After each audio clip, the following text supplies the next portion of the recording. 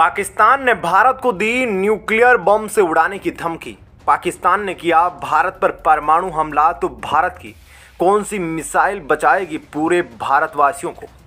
रूस ने जीता, भारत का दिल। पुतिन ने किया, मोदी को कॉल। तो दोस्तों, आइए जानते हैं सारी खबरों को विस्तार से।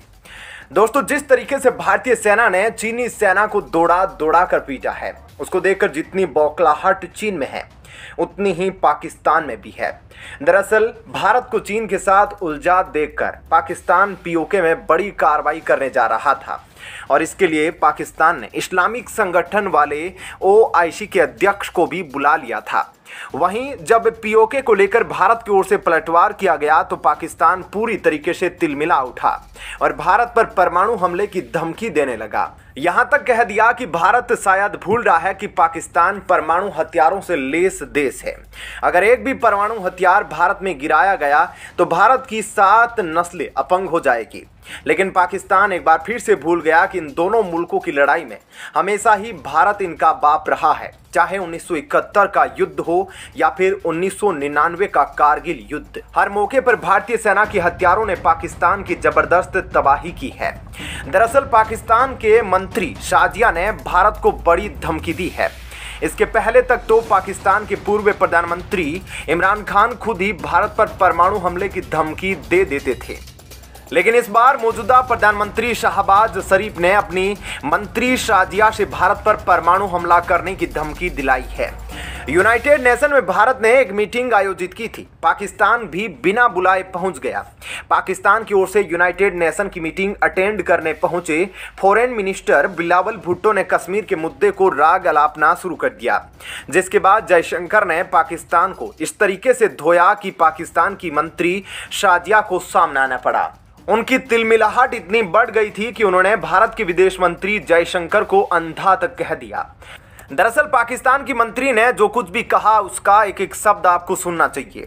आपको बता दें कि साजिया की ओर से कहा गया कि मोदी सरकार की दिशा में विदेश मंत्री इतना अंधा हो जाएगा कि वह नहीं सोचेंगे कि पाकिस्तान एक न्यूक्लियर देश है। और अगर भारत का विदेश मंत्री पाकिस्तान न्यूक्लियर वाले देश के लिए उल जलूल बक सकता है तो ये उसके लिए ठीक नहीं है। तो भला भारत क्यों पाकिस्तान की न्यूक्लियर वाली धमकी की तरफ़ ध्यान दे? क्योंकि भारत पहले भी इनके न्यूक्लियर हमलों का इलाज कर चुका है। दरअसल भारत ने एक ऐसी मिसाइल पहले से ही अपने जखीरे में शामिल कर ली है, जो किसी भी परमाणु हमले को हवा में ही नस्तो नाबूद करने की ताकत रखती है।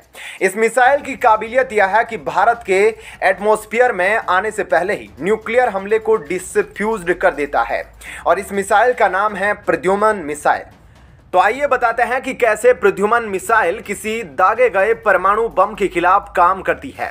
जब भी पाकिस्तान भारत के किसी शहर को टारगेट करके न्यूक्लियर वेपन को छोड़ेगा तो भारत के डिफेंस सिस्टम उसको काफ़ी दूर से ही पहचान लेंगे, जिसके बाद भारत इस परमाणु हमले के बदले में प्रद्युमन मिसाइल को फायर करेगा। यह प्रद्युमन मिसाइल न्यूक्लियर वेपन को काफ़ी ऊंचाई पर नष्ट करेगा, और यह पृथ्वी के एटमॉस्फेयर से बिल्कुल बाहर होगा। जिसके कारण परमाणु बम का डिस्फ्यूज्ड पार्टिकल भी भारत की धरती पर कोई कहर नहीं बरपा पाएँगे। एक तरफ़ भारत परमाणु हमलों से बचेगा और साथ ही उसके दुष्प्रभाव से भी यह प्रद्युमन मिसाइल बचाएगी।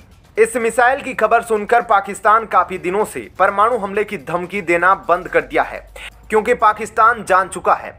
अगर पाकिस्तान ने भारत पर परमाणु बम के हमले की कोई गलती की तो भारत उस परमाणु बम के हमले से बच सकता है। लेकिन इसके बदले में भारत ने अगर एक भी परमाणु बम से हमला किया तो पाकिस्तान का बचना बेहद मुश्किल हो जाएगा। भारत के डीआरडीओ के द्वारा इस मिसाइल को बनाने के पीछे का मकसद भारत को किसी भी परमाणु हमले से सुरक्षित करना था, जिससे वह सफल भी रहा है। अब इस मिसाइल के सफल परीक्षण के बाद इसको भारत के जंगी बेड़े में शामिल कर लिया जाएगा। भारतीय डिफेंस सिस्टम में उपयोग की जा रही पृथ्वी मिसाइल को इस मिसाइल से रिप्लेस कर दिया जाएगा। पृथ्वी मिसाइल का काफ़ी लंबे समय से उपयोग किया जा रहा है। पृथ्वी मिसाइल को भारतीय सेना ने उन्नीस सौ चौरानवे में शामिल किया था। और इसी मिसाइल की जगह पर भारतीय सेना में प्रद्युमन मिसाइल शामिल होने वाली है। अगर इस मिसाइल के फीचर्स की बात करें तो यह मिसाइल 3000 किलोमीटर तक मार्ग क्षमता से लेस है। तो वहीं 80 किलोमीटर इसका फ़्लाइट एल्टीट्यूड है। इस मिसाइल की स्पीड 8 मैक है। वहीं अगर इसके गाइडेंस सिस्टम की बात करें तो इसमें mid course inertial navigation system का उपयोग किया गया है। दोस्तों, यह तो थी इस वीडियो की पहली खबर। अब आइए आपको दूसरी खबर के बारे में बताते हैं। यह खबर रूस से आई है। दोस्तों, भारत से नौ दिन पहले तुआंग में चीन की शरारत होती है और अब पुतिन ने पीएम मोदी को फ़ोन लगा दिया है। इस खबर ने पूरी दुनिया में हलचल पैदा कर दी है। क्योंकि वो पुतिन ही है, जिन्होंने अकेले ही अमेरिका समेत यूरोपीय देशों को अपनी उंगलियों पर नचाया है।